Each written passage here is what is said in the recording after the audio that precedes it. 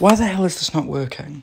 Hey Martin, what day is it today? Really? You don't know what day it is? Right, it is uh, Saturday, December the 9th. December the 9th. The 9th. The 9th. Oh no! What have you done?